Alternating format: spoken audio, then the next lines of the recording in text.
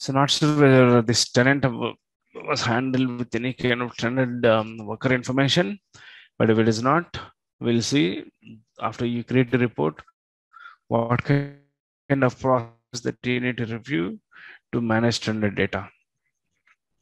So I said, similar to the matrix, you have trending uh, report actually. So which where you need to take the trended source actually. Or if you wanted to go with advanced, but you wanted to have the trended data, you can look for trended sources.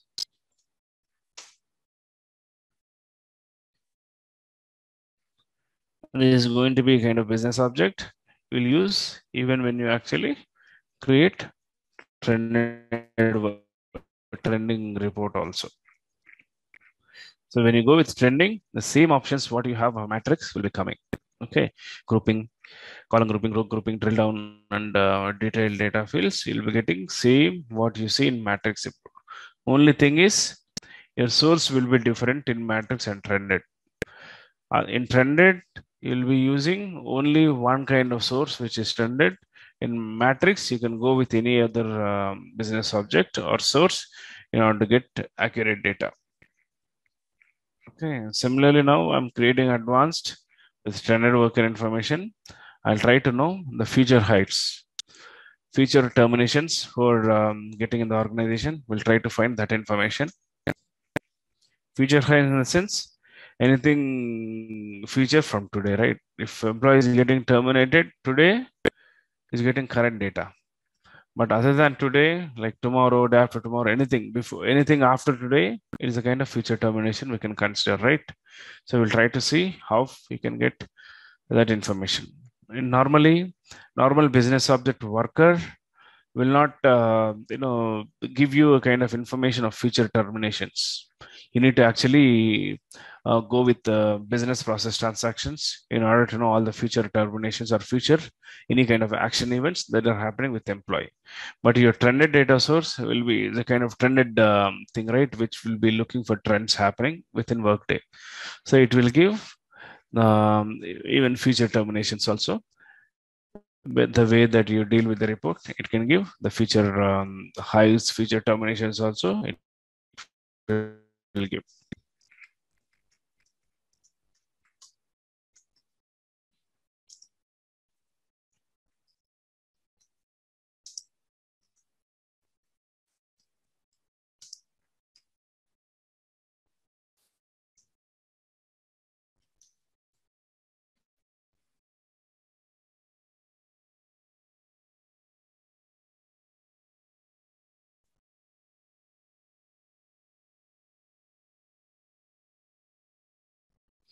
Since you have selected um, advanced, you got a chance to actually make your report as a web service.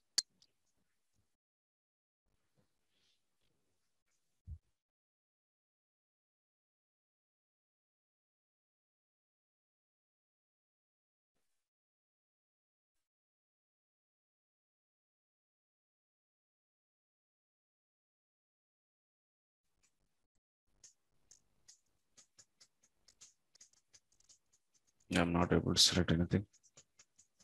Okay.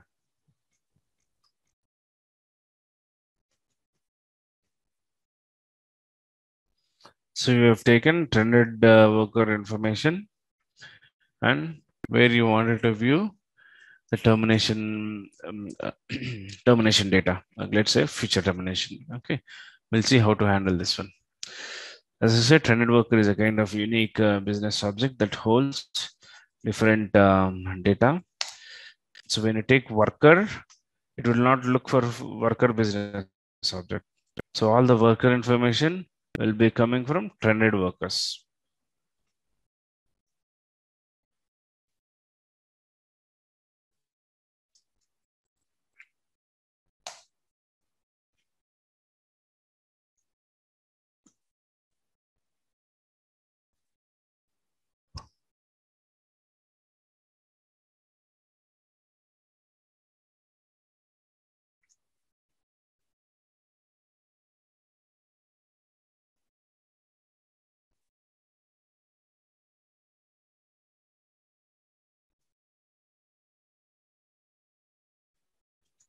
So you need to know when someone asks you to actually get a trends of um, terminations, trends of um, hirings. So when you get um, such kind of requirements, forget about the format. At least source you need to know, which, is, which should be your trended source. Then the format and all, probably you can think which report type will work based on your needs and all. That can be uh, trended workers or advanced. You can actually take that one.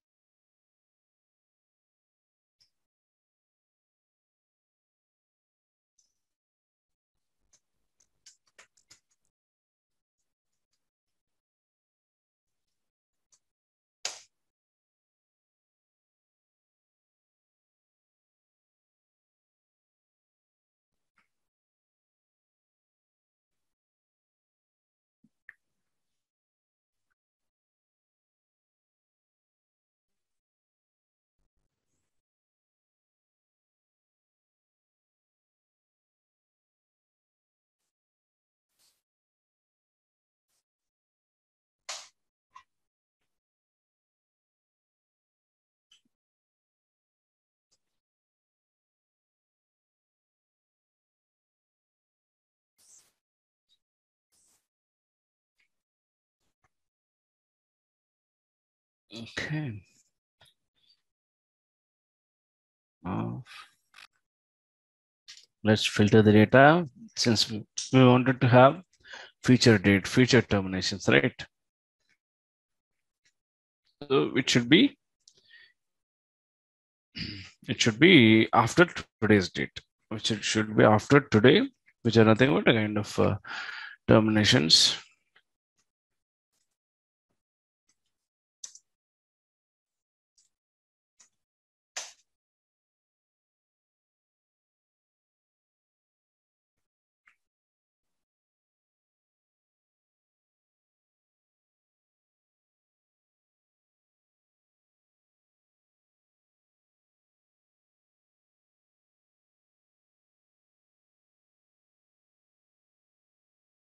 So you can have you'll have two options, you know, when you wanted to filter the data, whether you wanted to have um, activity or snapshot. Snapshot is nothing but uh, which gives uh, you know information right from um, effective date of the termination. Okay, and if you're taking as an activity, which is nothing but you know uh, will be uh, nothing based on current date it will look for um, you know even beyond that particular date. Okay. So snapshot is something different and activity is something different. When you go with snapshot which actually looks for complete information of termination. Okay. Without um, you know your current your past your future it will give complete information of uh, snapshot. And activity is nothing but we are now looking for feature terminations activity. Okay. So which is nothing but we are looking for certain kind of scenarios to get all the future future information. So instead of snapshot actually getting all the information from the snapshot i wanted to get information from activity. Okay, that probably you need to let you know when you are creating um, any kind of trended information. And so termination is something, uh, a kind of transaction in Workday, right? Uh, whenever you perform whenever you terminate an employee or whenever business process called termination triggers in Workday, your termination event executes and employee will get terminated. Similarly, whenever you wanted to hire an employee, hire business process has to execute and then employee will get hired. Similarly, when you wanted to promote an employee from one position to another position, a business process transaction called job change will be triggering and promotion will happen. So for any kind of transaction that needs to happen in Workday, business process plays an important role in running in the background and making the transaction to get complete. And now since we are talking something about termination, whenever termination has to trigger in Workday, business process called termination has to run in the background. Without that business process running, employee will not get terminated in Workday system.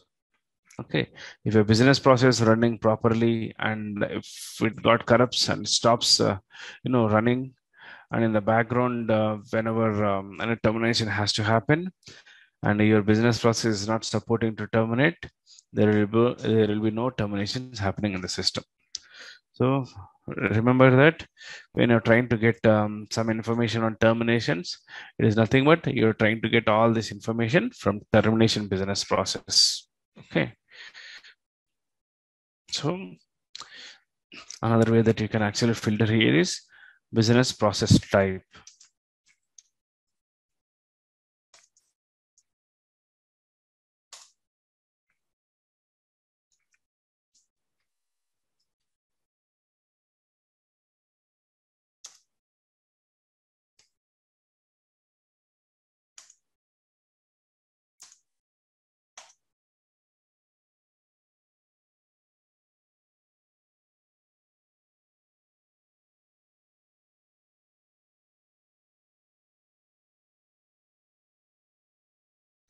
So what should be your business process here?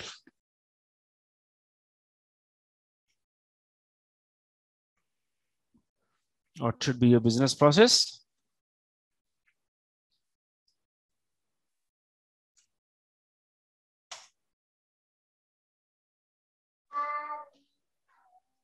Is it Termination should be your business process. Yeah.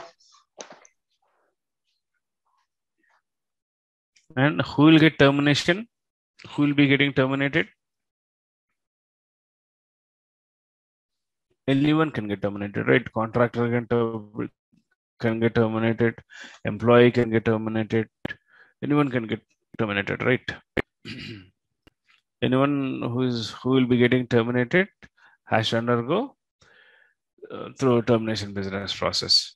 But most of the organizations, what they'll do is um, contractors, you know, they'll be not tracking. Okay, they'll be not tracking. Um, they'll not go with. They'll not maintain any kind of standard business process for hiring contractors or for hiring uh, for terminating contractors. They'll just uh, give um, you know uh, create a profile and give a start date of that contractor without any kind of a normal business process will be because when employees undergoing with um, getting hired under a specific business process called hiring all the you know, things has to happen. You know, um, benefit elections has to be configured benefit elections has to be provided and um, any kind of bonus amount there one time bonus has to be given.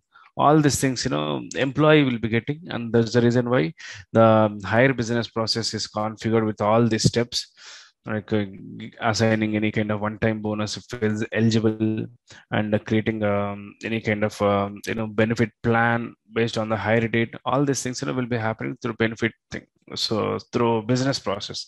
But for contractor all these things you know will not be applicable right? So they'll be going outside of that business process and create manually the contractor um, profile actually.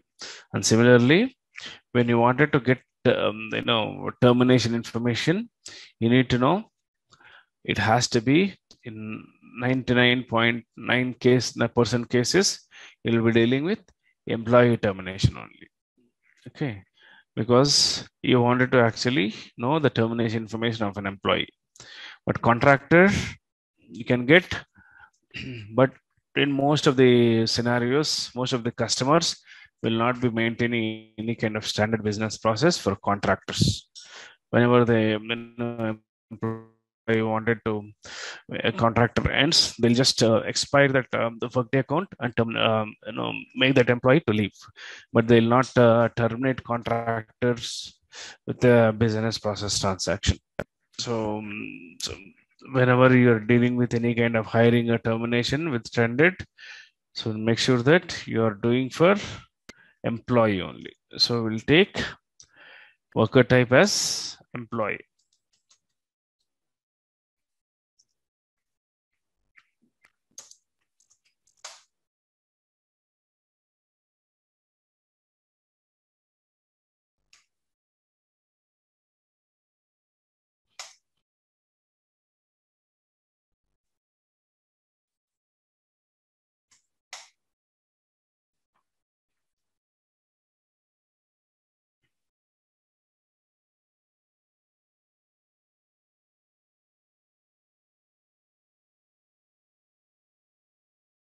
What should be your worker type? Should be employee. Because for contractors, will not be looking for any kind of um, you know, business process transactions and determinations.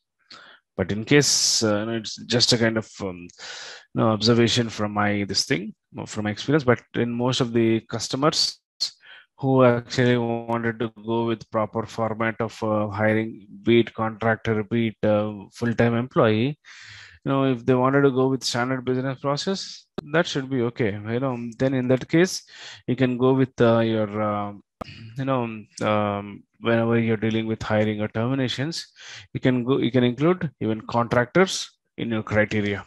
If there is a kind of data that you feel it is there. But if in most of the cases, they'll not consider contractor as a kind of uh, you know whatever features that will be giving for employee will not be considering contractor to avail those things.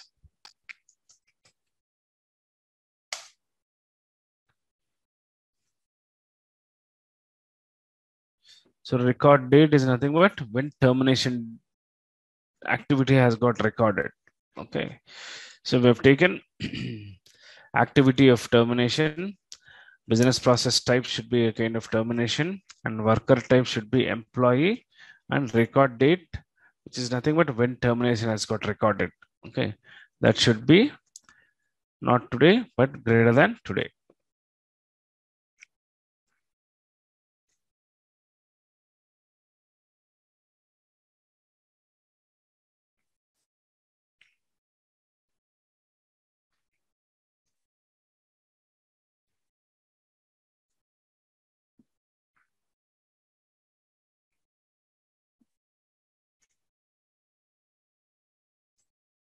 when you want you don't want to go with the standard dates but all time all all the times you know report has to dynamically dynamically pick after today. So you have delivered fields called um, today where you can get from uh, another field of your report filter. That's how you know your report will be working as needed. Amit, can we have like record date um, as a prompt, where we can give the date? Yeah, anything, anything Effective? you can do. Yeah. Anything you can do. So. And I'm asking, like, can we do in this report so we can also refresh that? So there are some kind of um, default prompts, you know, that you'll be getting for this one.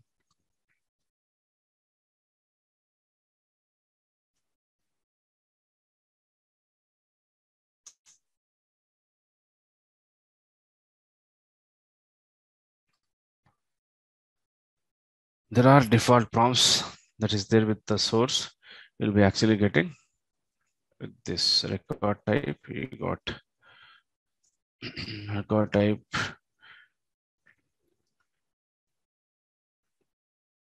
So this needs to be actually utilized for prompting your data.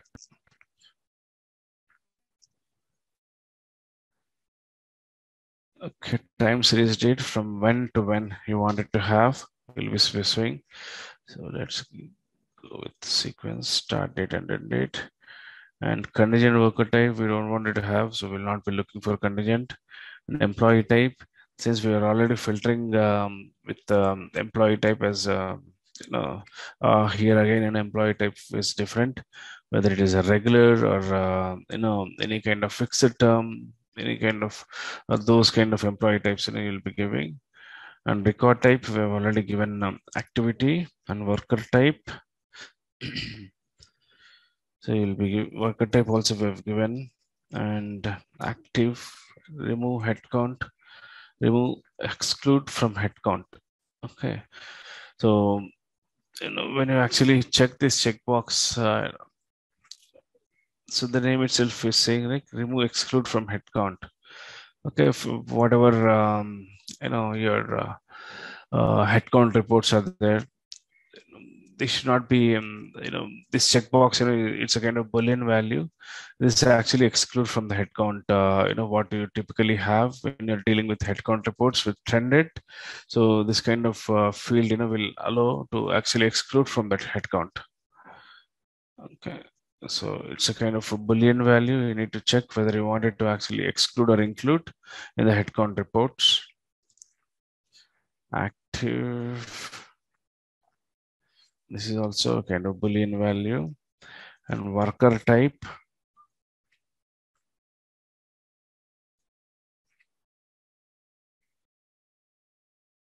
So since we already given, got.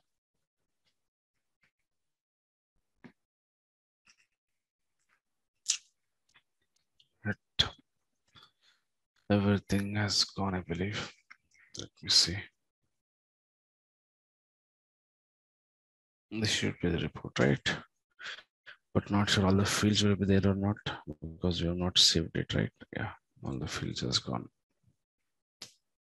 Okay.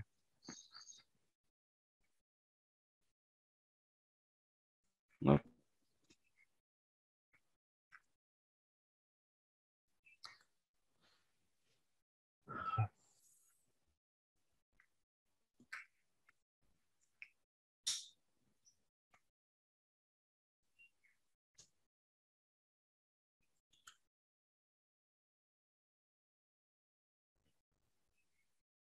Let me quickly add um,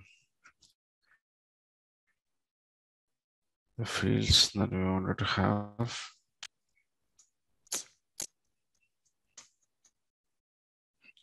Quickly add the fields that we've created.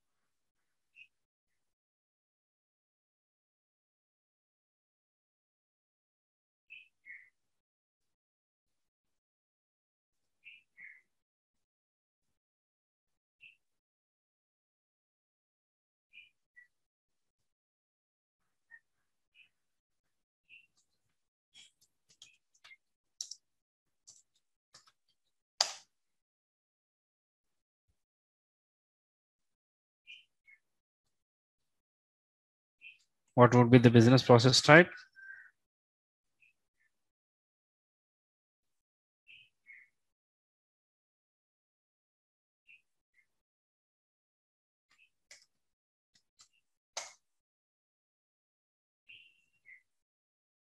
termination should be the business process type so that your report will not take time and actually looking for all the um, business process transactions other than termination.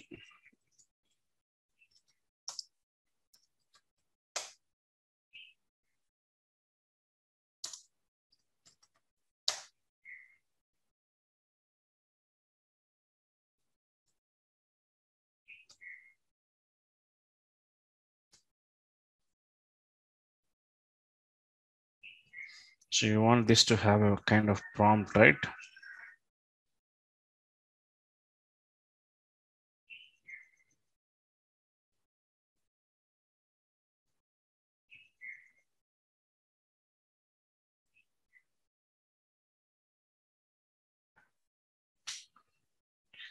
So if you can record date as prompt and coming to the prompts.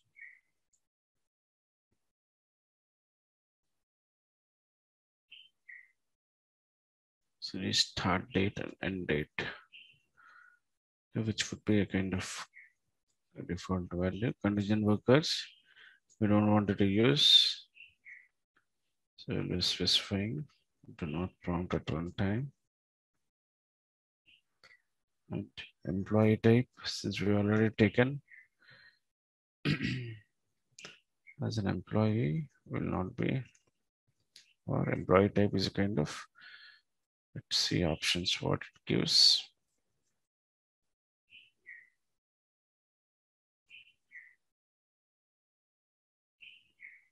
Take full-time regular kind of thing and record type which we already taken as an active Let's make it as do not prompt and worker type as con employee, which we have taken mark as prompt. And yeah, so we'll be going with start date, end date with employee type as fixed. Since you already give, given the regular, if you don't want this also to be prompted in the output, you can give this as also do not prompt. And there is one more prompt that we have given from the filter on record date. Okay. Record date, which comes from your report. We'll give last.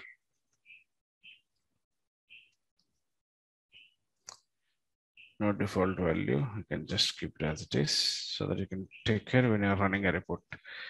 Now, let's see if you're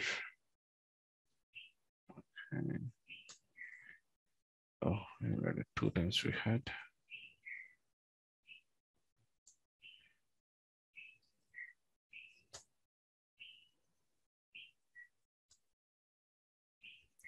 The field data source filter is required. Okay.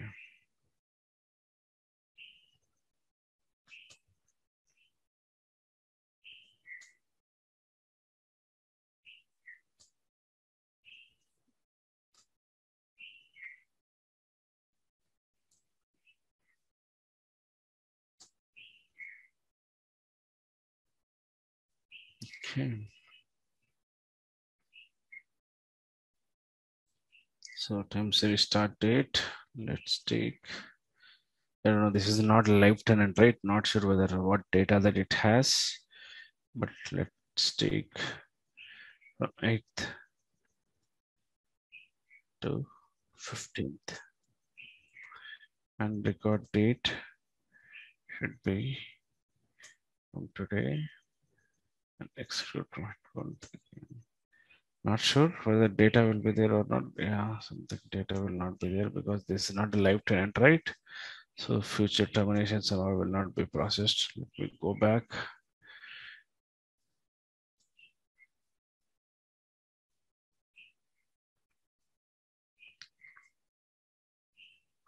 Start date.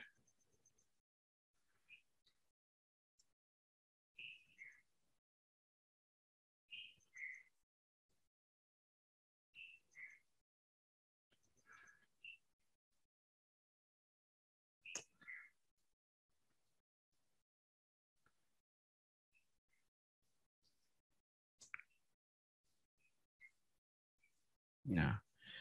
So when when we go back, we're getting uh, backdate determinations. But feature also you'll be getting since you know this is not a live tenant, right? Uh, so where all the feature titled uh, HR transactions are performed, we are getting a blank. But yeah, based on this, uh, you should be able to go back and get accurate data. And also based on the date range that you wanted to have, let's say here I've taken something till today I've taken, okay. So till today with the snapshot date, there was an activity and um, record date of termination. It has got me two terminated records, okay. So which you can actually uh, take it as a kind of um, trended um, trended information between the date range of terminated employees. Similarly, you can play around with any of the information with tender. Okay, if you wanted to know the any kind of um, change business process transactions happened, uh, let's say promotion or job change, anything that you wanted to know. Only thing is that you need to do is in the filter, I've given uh, business process type as terminations. So just remove the termination and it will look for all the business process transactions in Workday. Uh, not only termination, but when you remove that filter, it will look for only, uh, when you remove that filter, it will look for all the transactions. But when you actually filter with termination, it will only look for terminated one. Okay, understood the trended one? It's simple, but only thing is you need to know how trended works versus a standard, um, you know, data. That's the only thing that you need to know. Other than that, um, as how you actually deal with um, worker related sources and objects, you'll be managing the same way with your filters of, uh, you know, uh, trended workers.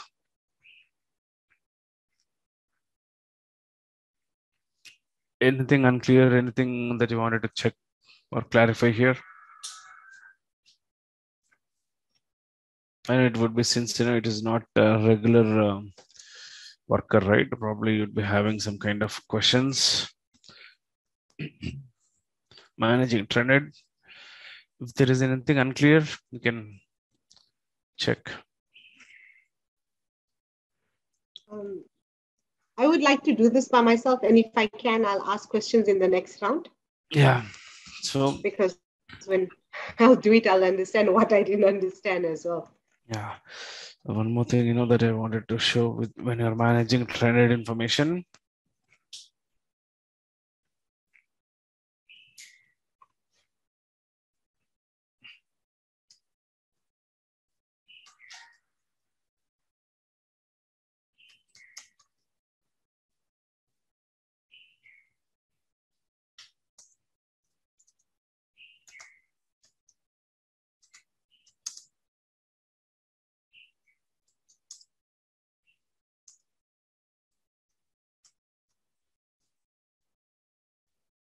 Okay. I think I didn't proxy as logon, right? That's the reason why I'm not getting few options. Let me proxy as a logon and show some of the options that you can handle during trended um, reporting.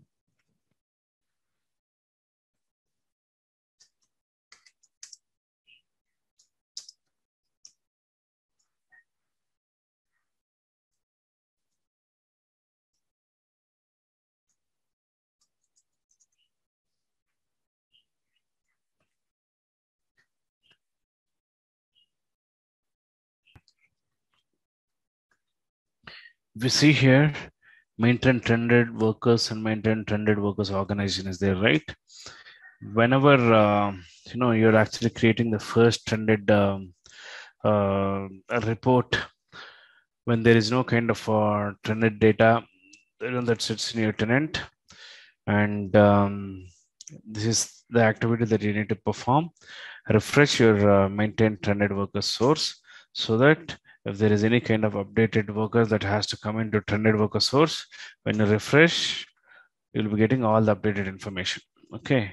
So when you when your report is not pulling any data, when you manage any kind of trended reporting related stuff, So just come to maintain trended workers uh, task and here just click on refresh. It will refresh the data and um, will actually pull um, all the records you'll be getting. So far we have trended records processed around um, this is the head container that we have so far till date.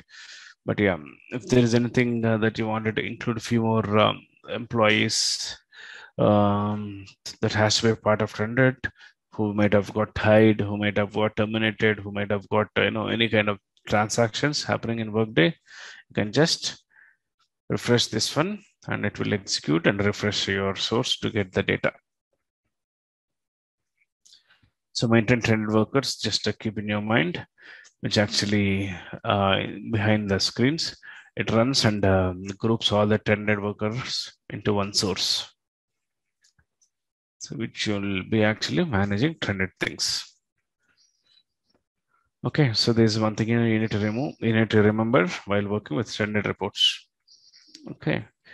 And the one that we have created, right, uh, advanced report is a straightforward one. We just took very basic fields and um, try to you know see if uh, we can get uh, future terminations which we are not because since you know this is not a live tenant you'll obviously see no one making such kind of transactions. But we were able to go back and find um, the you know previous terminations in our report. That should actually give um, some kind of examples. But yeah so you can actually manage with any kind of same report what i've created.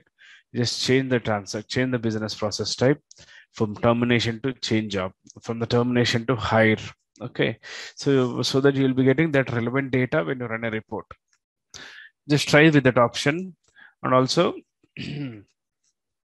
Now we have taken advanced report, and there's a reason why you know, we were getting all the things in a tabular format. But in case if you wanted to have a kind of uh, trended information to be populated in a graphical format, then you need to choose your um, report type as trended instead of advanced so that you'll be getting uh, option to actually choose the chart in a way that you wanted to populate the data and get it